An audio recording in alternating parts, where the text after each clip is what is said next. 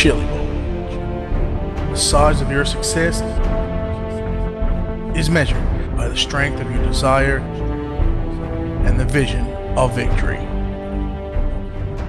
If you don't think you have what it takes, you don't stand a chance out there.